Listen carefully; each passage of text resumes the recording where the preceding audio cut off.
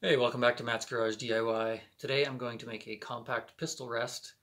Uh, I just wanted something that's small, uh, easy to transport, as well as easy to store when I'm not using it. It's definitely not something that I use all the time. Uh, I've seen a, seen a bunch of videos. There's some great ideas out there. Uh, I'm going to be kind of copying some of those ideas. Um, I've noticed that most of them show you a great thing, but don't really show you how to make it. So hopefully this will explain how to make it.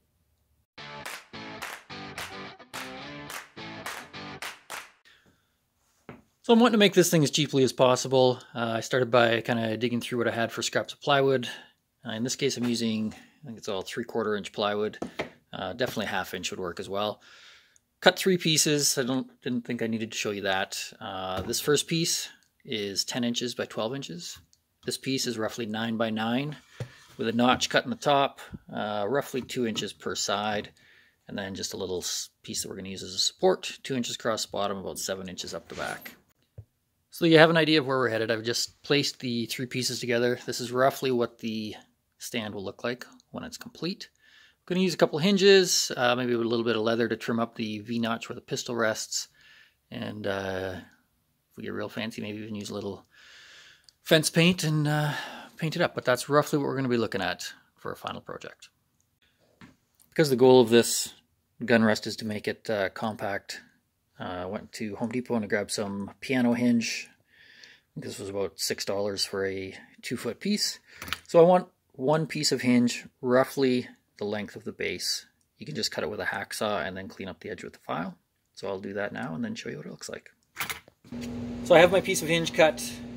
I'm to screw it along the bottom here.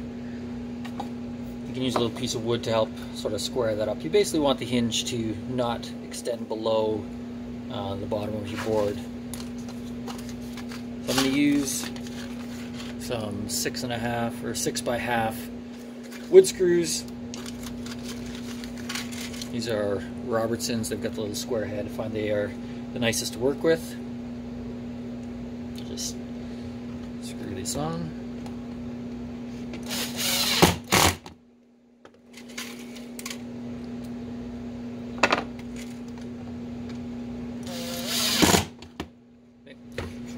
So I'll finish screwing this on and then we can attach this to the base. So my rest is going to be 9 inches tall. So on my base, I've marked off 9 inches, squared that line straight across. That is going to be where I want my hinge or the edge of my board to be.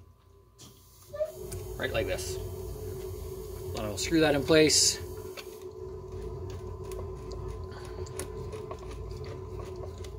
There you go.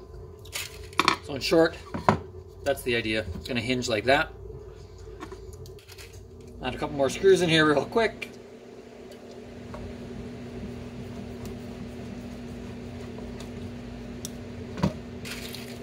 And there we go. So I finished screwing this together. I've now got all the screws in. Happy with the way that that hinges. And add a little support now on the back side want this roughly lined up, centered there. It doesn't have to be exact, but close. When it's folded up, I want that to be pretty close to center. I'm going to screw a piece of hinge right here. So I'll basically just repeat the same process that uh, you saw me do for the first piece. Throw some screws in that, and then I'll show you what that looks like. Now I've got my hinge screwed on. Basically, when this thing is folded up, it's going to be about that big. When you get to the range, set it up, fold that out, fold this up, I'm going to add a little bracket in here so that this thing is solid, doesn't move around, and I will show you how I'm going to do that next. Um, also, as a little extra, I think I'll probably just drill a, about a one inch hole, just use a spade bit or something like that, clean it up with a rasp or a file.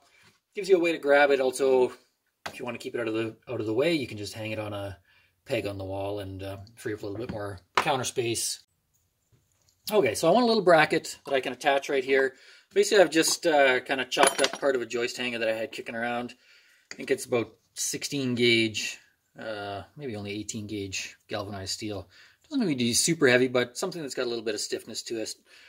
I'm just going to attach it right like that. So when this is folded up, it's tucked out of the way. When I open this up and then tip the rest up, and I have a hole here that I can put a bolt through, hold this whole thing nice and secure I'm Going to drill that out to a quarter inch and just going to tidy this up. All right, so I've got my little bracket now. Just made that out of tin. You can use something heavier than that. You may have to cut a little notch out here if it interferes with it closing. Um, you do want this to stand, nice and straight when it's up like that. So next, just going to mark kind of where that quarter inch hole is. And we'll come up with a fastener, and a way to uh, kind of secure that. And we're just about done.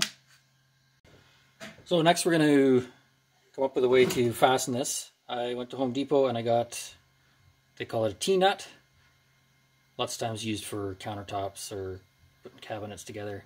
Anyways, uh, it's quarter inch thread on the inside, little hex uh, Allen key on the back. It's roughly 3 eighths uh, diameter, so I'm going to drill a 3 eighths hole, and we are going to stick that in the bottom, and I'll kind of show you what I have in mind here.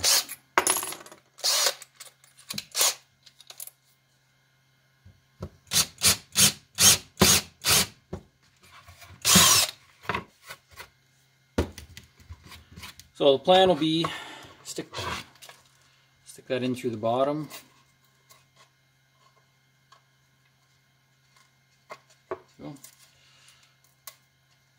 Fits reasonably well. Okay. When this is folded up, you stick a quarter inch bolt through, hits the threads in there, tighten it up. This will be nice and secure. And what I'm going to do to make this a little easier to turn, I'm actually going to put a wing nut uh, bolt on there. So I've just put a wing nut onto my bolt, not very fancy. Probably put a little drop of Loctite in there to keep those two from sliding. If you got a welder, you can tack weld those together as well. Um, just looking for something that's going to make that a little easier to turn when I want to put this together without having to bring extra tools.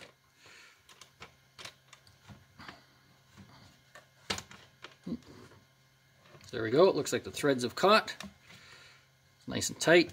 There we go. You just basically tighten that up with your fingers. This whole thing now is not moving at all.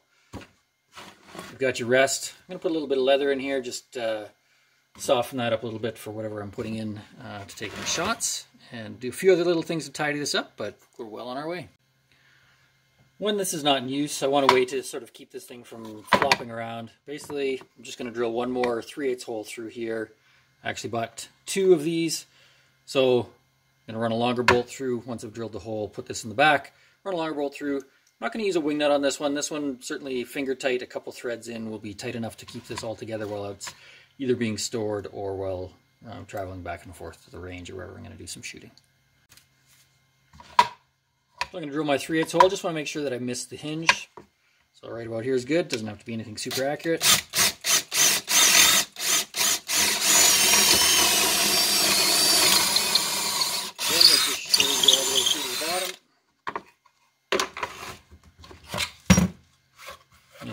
Come up the bottom.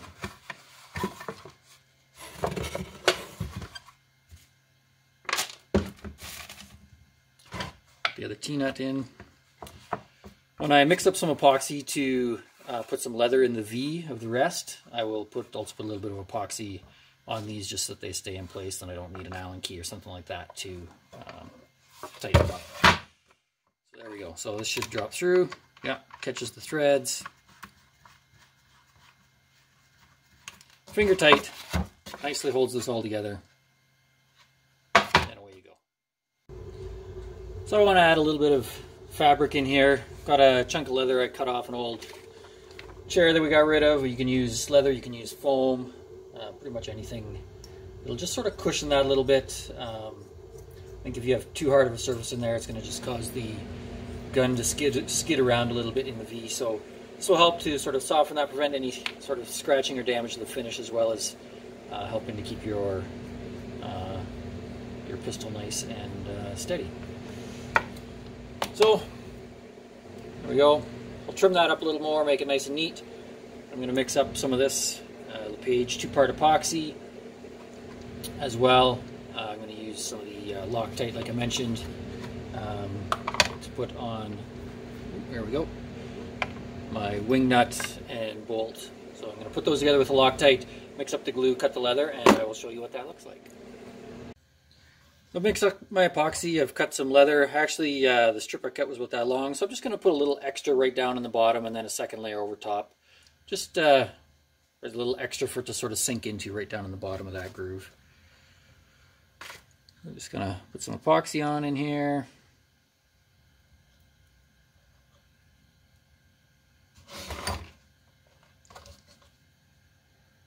Push that first piece down right into that. And then I'm going to give it a second coat. Right over top, right out to the ends. I want to make sure you get right to the ends. I don't want those edges peeling off on me. A little less concerned in the middle if it's if it's loose, but definitely don't want it to start to fall off.